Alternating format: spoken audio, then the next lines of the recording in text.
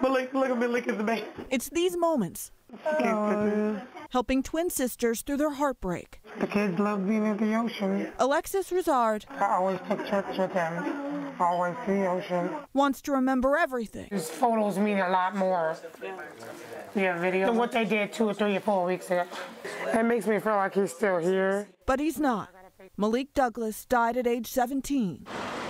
Tuesday around 11:40 p.m., he was driven to St. Francis Hospital in Federal Way. Then police were alerted that the teen had been in a car with friends in Tacoma. A gun allegedly had been passed around, and one of the people in the car shot and killed Alexis's oldest son. I want my baby back. I want my baby back. I want to hold him again. This situation not only changed our life, but it changed a whole other family's life and the, the life of the community. Alicia Streeter is by her sister's side to spread a message. Put the guns down. You're not cool.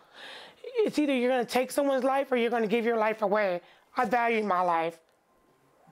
You know, it's not cool to hold a gun. It's the words she plans to keep saying as she remembers her son. The hashtag Malik will live is because his organs are helping people save lives. And I want my baby's legacy to live on. Malik's dad wants that too. Here they celebrate the best moments of his life lived it and he had fun doing it. and remember him as someone who loved his family. You loved him? Now, the pictures that mean so much are a reminder of a life gone too soon. In Federal Way, Natalie Swaby, King 5 News. And that shooting happened along Marine View Drive in Tacoma. The 17 year old was arrested in connection with Malik's death.